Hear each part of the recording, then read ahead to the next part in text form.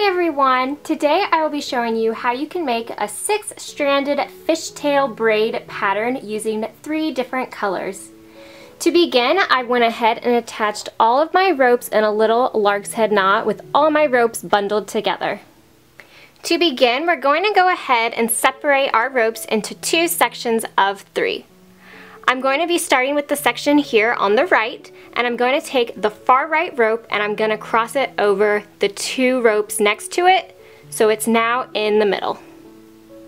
Now I'm going to repeat this process moving on to the left side. So I'm going to take the side here on the far left and this time I'm going to cross it over the next three ropes. And now I'm back to having two sections of three.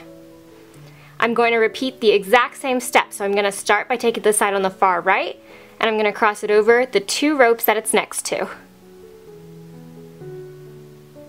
Now I'm going to move to the side on the far left and cross it over the three strings next to it. And I'm going to kind of tug them up tight as I form this braid.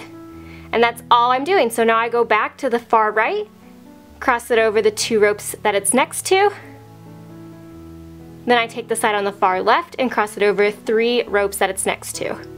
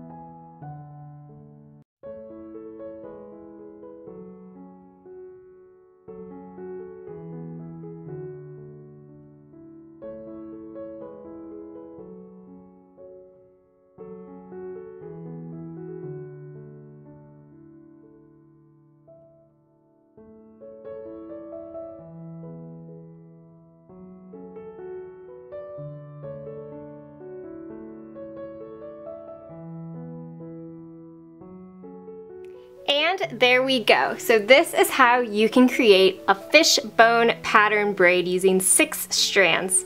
It makes a really beautiful pattern whether you're just using one color or different colors like I am here.